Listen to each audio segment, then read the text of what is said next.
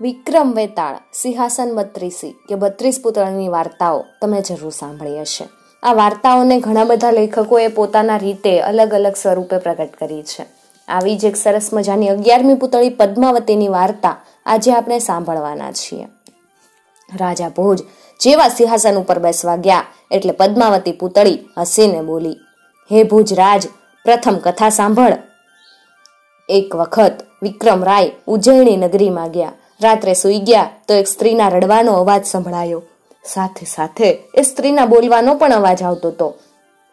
છે કોઈ વીર પુરુષ જે મને આ પાપીથી બચાવે? રાજા તરત જ તૈયાર થઈ ગયા અને ઢાલ તરવાર લઈ અને જે દિશામાં અવાજ આવતો હતો એ દિશામાં એ જ અવાજની દિશામાં નીકળી પડ્યા. થોડી વારમાં એ જંગલમાં આવી પહોંચ્યા. જંગલમાં એક દેવ એક સુંદર સ્ત્રીને હેરાન કરતો હતો. તે વારંવાર તે સ્ત્રીના વાળ પકડીને જમીન ઉપર પછાડતો હતો. આ જોઈને વિક્રમ રાજા ગુસ્સે થઈ ગયા. એમણે ગર્જના કરી અને કીધું, અરે દુષ્ટ, તું એક સ્ત્રીને હેરાન કરી રહ્યો છે. તું એટલું પણ જાણતો નથી કે સ્ત્રીને દુઃખ દેવાથી નરક મળે છે. દેવે કીધું, જા ભાઈ, જા, તું તારું કામ કર. ઊભો રે, દુષ્ટ, એમ કહેતા જ રાજાએ તલવારનો ઘા મારી દીધો અને દેવનું માથું જુદું થઈ ગયું. પણ અચાનક ચમત્કાર થયો. દેવના ધડમાંથી રૂંડ અને મુંડ એ નામના બે વીર નીકળ્યા. એ બંને રાજાને વળગી પડ્યા. રાજાએ એકને તો મારી નાખ્યો, પણ બીજો આખી રાત લડતો રહ્યો. સવાર થતા જ એ ત્યાંથી ભાગી ગયો. હવે રાજાએ સ્ત્રીને કીધું, આવ મારી સાથે. રાક્ષસ મારા ડરથી ભાગી ગયો છે. હવે નહીં આવે. પેલી સ્ત્રી બોલી, હે રાજા, આ સાધારણ દેવ નથી. એ મને ગમે ત્યાંથી પકડી પાડી શકે એમ છે. એ મરશે નહીં. ત્યાં સુધી મને ભય તો રહ્યા જ કરશે. રાજાએ કીધું, કે એવું કેમ? તો પેલી સ્ત્રી બોલી, એની પાસે એક મોહની પૂતળી છે. એ એના પેટમાં જ રહે છે. એની શક્તિથી તે ગમે ત્યાંથી મને શોધી શકશે. વળી એ પૂતળીમાં એવી શક્તિ છે કે દેવ મરી જાય તો બીજા ચાર દેવ પેદા કરી શકે. આ તો નવાઈની વાત કહેવાય, પણ વાંધો નહીં. હવે તું મારો જાદુ ચૂપચાપ જોતી રહે. હું અહીંયા નજીકમાં જ સંતાઈ જાઉં છું. આમ કઈ રાજા વિક્રમ એક જાડીમાં છુપાઈને બેસી ગયા. સાંજ પડતા જ પેલો દેવ ફરી આવી પહોંચ્યો. તેને જોઈને પેલી સ્ત્રી ફરીથી રડવા લાગી. ખબરદાર, એમ બોલતા ને રાજા જાડીમાંથી બહાર આવ્યા. રાજાએ ઝડપથી તલવારનો ઘા મારી દીધો, માથું દૂર જઈને પડ્યું. એ જ વખતે ધડમાંથી પેલી મોહની બહાર નીકળી. એ અમૃત લેવા જતી હતી રાજાએ તરત જ પોતાના વીરને બોલાવી અને આજ્ઞા કરી કે એને પકડીને મારી સામે લઈ આવો. વીર તો તરત જ મોહની તરફ ધસી ગયો એને પકડીને રાજા વિક્રમ સાથે લઈ આવ્યો અને રાજાએ તેને પૂછ્યું, અરે, તું તો અજોડ સુંદરી છે, તો પછી આ દુષ્ટદેવને શા માટે મદદ કરે છે? પૂતળીએ કીધું, હે રાજા, મારી કથા સાંભળ.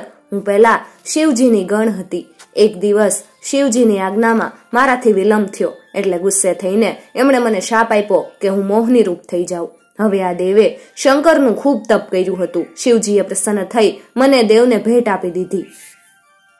તે દિવસથી આ દેવ મને એના પેટમાં રાખે છે. હું એની ગુલામ છું. એ જે મને કંઈ લાવવાનું કે એ લાવી આપું છું. પણ તમારા વેતાળે મને પકડીને તમારી સમક્ષ હાજર કરી દીધી. કોઈ કાળા માથાના માનવીની એટલી તાકાત હોય નહીં. હવે હું તમારા વશમાં છું. તમે ઈચ્છો તો તમારી પત્ની બનીને રહેવા માંગુ છું. મને વાંધો નથી. હાલ મારી સાથે નગરમાં. નગરમાં આવીને રાજાએ મોહની સાથે લગ્ન કરી લીધા. પછી તેણે પહેલી સ્ત્રીને પૂછ્યું, તું પેલા રાક્ષસને ક્યાં મળી હતી? એટલે પહેલી સ્ત્રી બોલી, મહારાજ, હું સિહલ દ્વીપની નિવાસી છું. બ્રાહ્મણની બેટી છું. એક દિવસ સખીઓ સાથે સ્નાન કરવા ગઈ હતી. ત્યાં જંગલમાં એક એવું તળાવ હતું, જ્યાં સૂર્યનો પ્રકાશ પડતો નહોતો. સખીઓ સાથે ત્યાં સ્નાન કરી હું પાછી ફરતી હતી, ત્યાં રાક્ષસ મને જોઈ ગયો. બસ, એ પછી તો તમે આવી અને મને બચાવી. બેટી આજથી તું મારી ધર્મની બેટી બની ગઈ, એમ કહી તરત જ વિક્રમ રાજાએ પોતાના વીરને બોલાવ્યા અને કીધું, અમને અમારી આ બેટીના નગરમાં લઈ જાઓ, સાથે ધન પણ લઈ લ્યો. થોડી જ વારમાં વેતાળે રાજાની ઈચ્છા પૂરી કરી. ત્યાં જઈને રાજાએ પોતાની આ બેટીના લગ્ન ધામધૂમથી માર્કંડેય નામના યુવાન સાથે કર્યા.